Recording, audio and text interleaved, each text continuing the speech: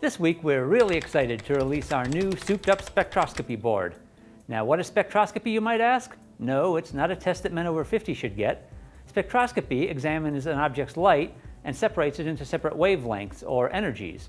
And by separating and analyzing its wavelengths, we can determine its physical properties, which is really cool.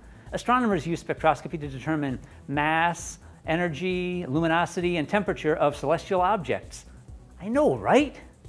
So how many sensors does our spectroscopy board have? Let's find out. A one, a two, a three, a three. We're using an AS72651, 52, and 53 so you can detect light from ultraviolet through visible and down to infrared.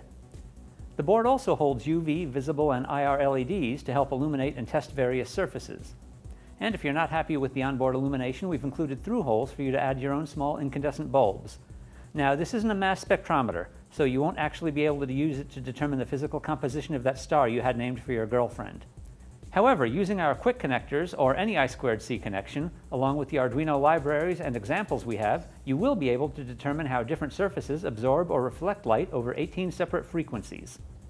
With half a dozen examples to get you started, the SparkFun Triad spectroscopy sensor is a great introduction to dissecting the electromagnetic spectrum.